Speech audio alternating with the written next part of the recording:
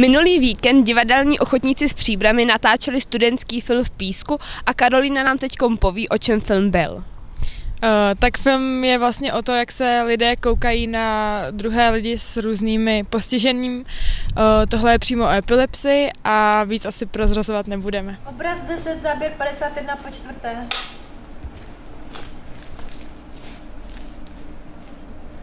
Akce.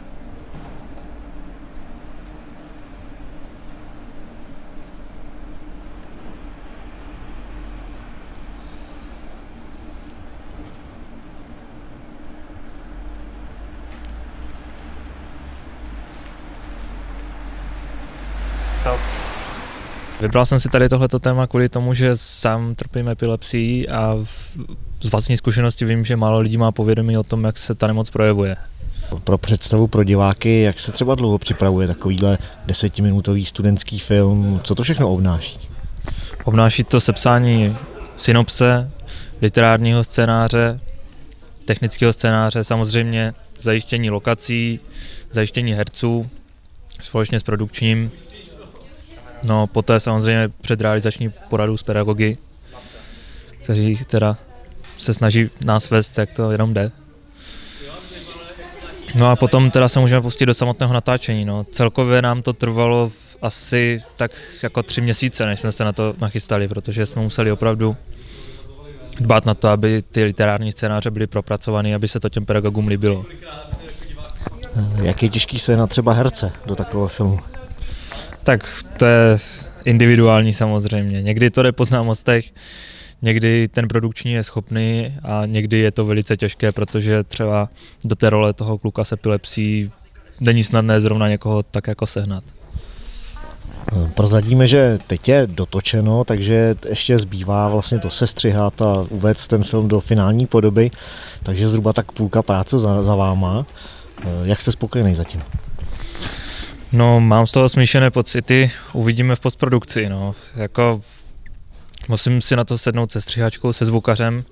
Já si myslím, že jsme se všichni snažili, jak to jenom šlo na poměry, protože ty okolnosti opravdu nebyly příjemné. Štěstí nám moc nepřálo, protože eh, dva týdny před natáčením nám to odřekl hlavní kameraman a tři dny před natáčením nám to odřekl asistent kamery. Takže myslím si, že na poměry jsme to zvládli velice dobře. Eh, Radku, jak se to vůbec stalo, že spolek Půlnoc eh, společně s divadelkem Svatorským se tady ocitnul v písku na natáčení filmu?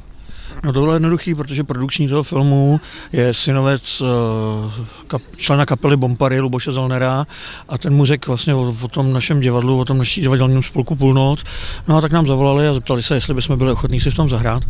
Já jsem říkal, že s tím nemáme problém, že prostě jako rádi pomůžeme nebo rádi si v tom zahrajeme.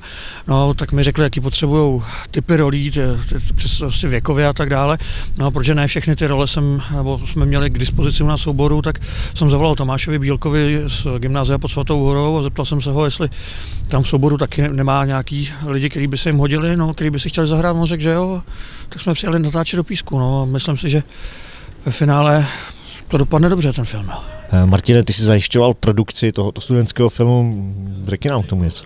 Eh, produkce byla zajištěna docela dobře, co se týče spolupráce s herci, to jsme zajistili docela dobře. Lokace byly taky zajištěny včas. Myslím, že jsem jen kůpat. Musel jsem se praštit do hlavy. Strašně mě bolí hlava. Ale nikdo mě nebyl, to bych si pamatoval. Já jsem představoval mladíka, který trpěl epilepsií a stala se mu taková příhoda, že v hospodě měl právě ten epileptický záchvat. Klapka. Obraz 10, záběr 49 po druhé.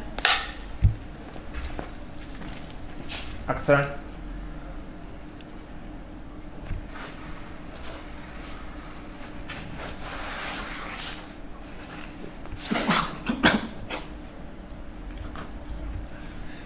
Já jsem stvárnila přítelkyni hlavního hrdiny a dokonce jsem tam měla řidičskou scénu, která je velice zajímavá a napínavá.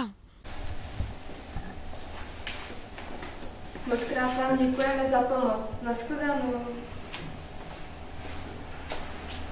Tak já jsem hrála barmanku Evičku, která je trošku od rány, ale vlastně je to docela v pohodě ženská, holka, dívka, nevím. A hrála jsem to moc dobře, bylo to určitě zajímavá role. Akce. Prosím tě, podívej se na něj. Šlehnul se a teď vyvádí. Ale ještě neznamená, že jste to museli takhle zřídit. Já ti říkám, že my jsme to nebyli. Stop. Eh, Já jsem tam hrál jednoho z hostů restaurace, kde se odehrává většina toho, toho děje, takového agresivního nebo agresivnějšího opilce. Nevím, proč si zrovna vybrali mě na tuhle roli. Akce. Přišel sám. Já jsem představoval taky jednoho z hostů, takového agresivního, který z začátku toho mladíka s pomocí kolegů vyhodí, ale uh, musím říct, že já takový v životě nejsem a hrálo se mi to dobře, protože ty záporné lode se vždycky hrajou velice dobře.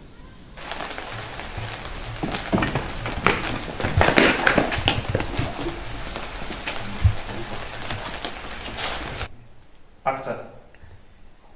Co blbnete? Jen se mi zamotala hlava. Nestopujeme ještě jednou a nedělej tu pauzu mezi těma dvěma větama. Ve filmu jsem představoval třetího štamgasta a to bylo velice krásné, protože tam má jednu jedinou větu. Chlapi, ten chlap nevypadá jako feťák. Takže jsem neměl žádný problém s memorováním textu jako ostatní a to bylo prýma. Eh, Film se mi hodně líbí, protože otevírá téma epilepsie i pro lidi, kteří tento problém nebo tuto nemoc neznají. Takže to není film natočený jenom proto, aby se natočilo něco, co bude někde eh, v šuplíku kantora, ale myslím si, že ten film bude dobrý i jako vzdělávací pro ostatní, ostatní lidi.